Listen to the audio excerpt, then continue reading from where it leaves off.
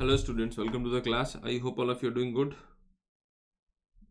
So this is uh, the second class on answer writing.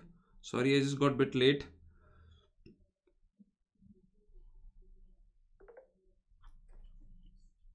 So this class is about William Niskanen budget maximizing model. तो इसको समझने का कोशिश करेंगे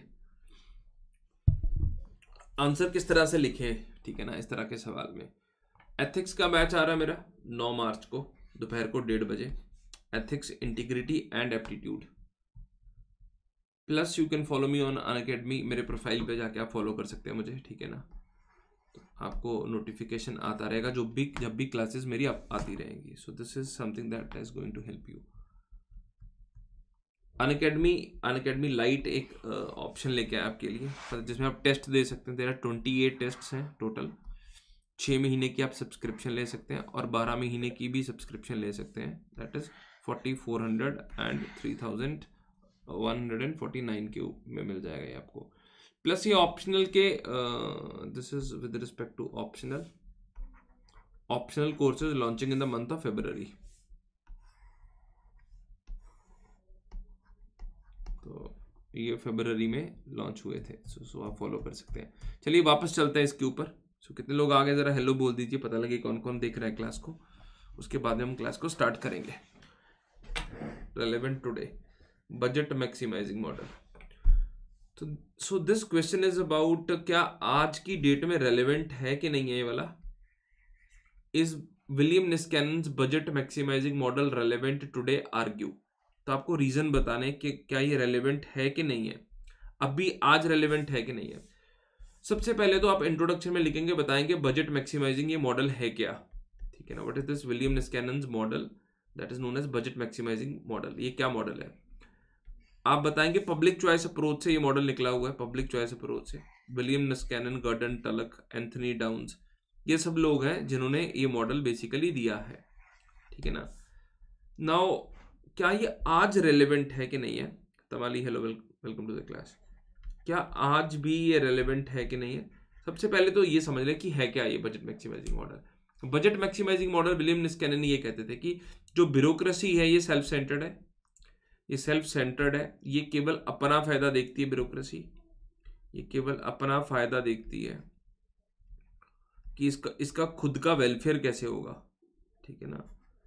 खुद के वेलफेयर के बारे में ज़्यादा सोचती है ब्यूरोक्रेसी एंड उसी की वजह से ये अपने बजट्स को खुद के बजट्स को इन्फ्लेट करती रहती है। खुद के बजट्स को इन्फ्लेट करती रहती है। अपने पास ज़्यादा पावर्स लेके आती है। There is a tendency toward centralisation basically ये कहते हैं ब्यूरोक्रेट्स अपने आप को ताकतवर बनाने की कोशिश करती सेंट्रलाइजेशन की तरफ़ है चीज़ें चलती हैं। क्या आज भी ये चीज़ रेलिवेंट है कि नहीं है? यस yes, या ये चीज़ आज भी रेलिवेंट है।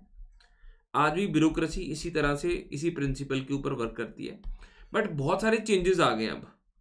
अब ब्यूरोक्रेसी के ऊपर बहुत सारे प्रेशर्स आने स्टार्ट हो गए हैं, ठीक है ना? सेंट्रलाइजेशन से ब्यूरोक्रेसी फ्रॉम सेंट्रलाइजेशन ठीक है ना? From centralisation bureaucracy is moving towards centralisation it is moving towards हाँ। डिसेंट्रलाइजेशन डिसेंट्रलाइजेशन की तरफ़ जाना स्टार्ट हो गया है ब्यूरोक्रेसी का। सेंट्रलाइजेशन से डिसेंट्रलाइजेशन की तरफ़ जाना स्टार्ट हो गया है ब्यूरोक्रेसी का। एंड उसकी वजह से जो बजट मैक्सिमाइजिंग जो है एस्पेक्ट है, इसमें थोड़ी सी चेंजेस आनी स्टार्ट हो गई हैं। ब्यूरोक्रेसी को ज़्यादा अकाउंटेबल बनाया जा रहा है। ब्यूरोक्रेसी को ज़्यादा अकाउंटेबल बनाया जा रहा है। बजटिंग के सिस्टम्स चेंज हो गए हैं। परफॉर्मेंस बजटिंग सिस्टम आ गया है। Planning, programming, performance budgeting systems आ गए हैं। ज़ीरो बेस बजटिंग सिस्टम्स आ गए हैं। मतलब ब्यूरोक्रेसी की अकाउंटेबिलिटी ज़्यादा बढ़ गई है। पहले अकाउंटेबिलिटी एक आधे तरीके की अकाउंटेबिलिटी होती थी but due to multi faceted accountability अब आसानी से जो ब्यूरोक्रेसी है, उसको हर एक रुपए का हिसाब किताब भी देना पड़ता है। तो उसमें आप ये भी कह सकते हैं कि जो ब्यूरोक्रेसी उसके ऊपर प्रेशर्स आ गए हैं, ज़्यादा अकाउंटेबल हो गई, ज़्यादा परफॉर्मेंस ओरिएंटेशन आ गया ब्यूरोक्रेसी में। उसके चलते थोड़ी थोड़ी इस चीज़ की रेलिवेंसी है जो कम होती जा रही है। Bureaucracy has to be now more people oriented people oriented उसको ज़्यादा होना पड़ रहा है अभी। पीपल सेंट्रिक ज़्यादा होना पड़ रहा है। पीपल सेंट्रिक ज़्यादा क्या करना पड़ रहा है? ज़्यादा हाँ वेलफेयर ओरिएंटेशन से उसको काम करना पड़ रहा है। सो so, ये चीज़ है विलियम निस्कैन मॉडल मतलब दोनों चीज़ें लिखेंगे आप इसमें। पबेड में जब भी आंसर आता है तो आपको ऐसा नहीं है कि आप बता दें ये रेलिवेंट है ये इरेलीवेंट है। आपको लॉजिक देने पड़ते हैं। लॉजिक आप तभी दे पाते जब आपको पूरी थ्योरी पता है आगे की और पीछे की। अब ब्यूरोक्रेसी इतना आसान नहीं है कि मेरा इतना बजट बढ़ा दो, मेरी मेरी पावर बढ़ जाएगी सेंट्रलाइजेशन नहीं। ऑलरेडी बहुत सारा प्रेशर है अकाउंटेबिलिटी का प्रेशर है मल्टी फेसेटेड अकाउंटेबिलिटी हो गई है। एक्सपेक्ट किया जाता है कि सरकारी नौकर से कि लोगों का भला करे वेलफेयर करे। तो ऐसी स्थिति में ऑलरेडी बजट्स जो है, वैसी बहुत कम है।